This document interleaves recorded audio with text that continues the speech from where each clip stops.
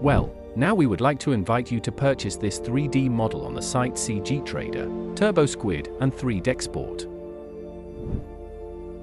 You can also follow us on our Patreon, where you will find our drawings and exclusive video tutorials. Thank you for your support.